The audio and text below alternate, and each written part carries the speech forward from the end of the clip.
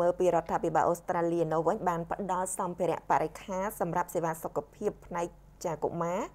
ចាសុខភាពផ្នែកកុមារនិងទារកជូនដល់មន្ទីរពេទ្យកាឡាម៉ែតសម្ភារៈបរិខាសម្រាប់សេវាសុខភាពផ្នែកកុមារនិងទារកដែលមានតម្លៃជាង70000ដុល្លារអូស្ត្រាលី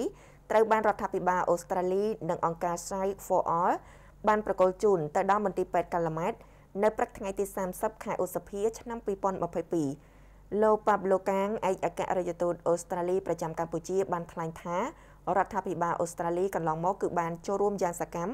នៅក្នុងការជួយនៅក្នុងកម្មវិធីជាតិសុខភាពភ្នែកនៅក្នុងប្រទេសកម្ពុជាជាក់ស្ដែងរដ្ឋាភិបាលអូស្ត្រាលីតាមរយៈអង្គការ Sight for All បានចាដែលបានរួមចំណែកជួយអភិវឌ្ឍសេវាព្យាបាលចក្ខុរោគនៅកម្ពុជា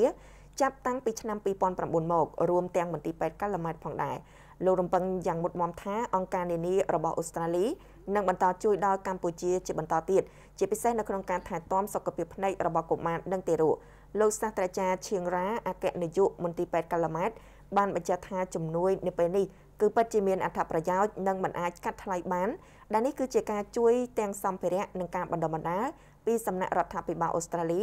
និងអង្គការ Save for All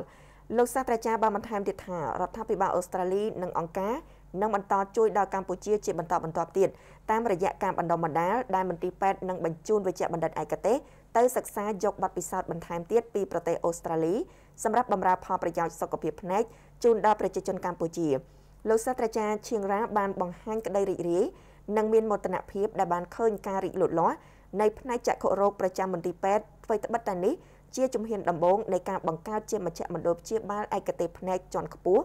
ក៏ពិតមែនមន្ទីរពេទ្យគឺមានមហិច្ឆតា